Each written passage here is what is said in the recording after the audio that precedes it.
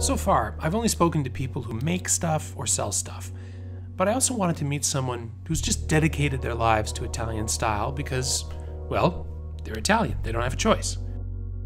Style is something you will learn up to the last day. It's a journey. Fabio Attanasio is Italy's leading style blogger. You learn during, and it changes as you change, because otherwise it would mean, if I told you that I understood everything about style, it would mean that my whole life I would be like I am now at 28. I would never, I hope at least to evolve myself and to change. One of the things that I'm trying to sort of wrap my head around is the idea of Italian style. You know, I have not been to another city where just a regular man waiting for the bus looks so elegant.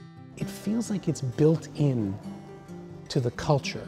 Maybe yes, I mean, uh, it's related to our creativity. We enjoy life. We have the luck of uh, living in a country which is full of beauty, which is incredibly full of uh, uh, talented people, uh, creative people. So maybe this is something natural. Our gift is our creativity. Made in Italy has become a brand today, and we are well aware of this. We are good at doing something and you gotta take care of it.